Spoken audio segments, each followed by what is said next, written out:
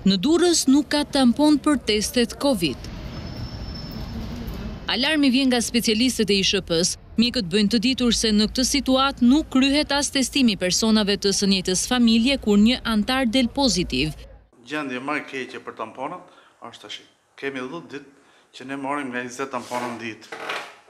Numri është ngrejt aq shumë sa që edhe dyqind tampona në ditë ne nuk i përballojmë dot me bo hetimin epidemiologjik. Se ne nuk jemi tu bo as kontaktet me të sëmurët.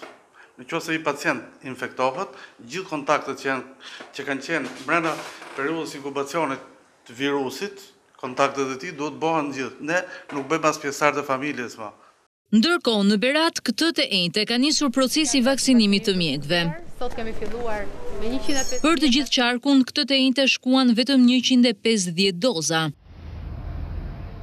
Kryeministri Rama, i cili ndjek hapjen e qendrave të vaksinimit nëpër qarqe, njoftoi nga Berati se shumë shpejt do të angazhojë ushtrinë dhe studentët e mjekësisë në procesin e vaksinimit të popullatës, Edhe pse deri tani Shqipëria ka siguruar një sasi të pallogaritshme dozash në krahasim me numrin e banorëve, Jo vetëm me qendra shëndetësore, po të përfshijmë edhe ushtrinë, të përfshijmë edhe studentë të infermierisë, në mënyrë që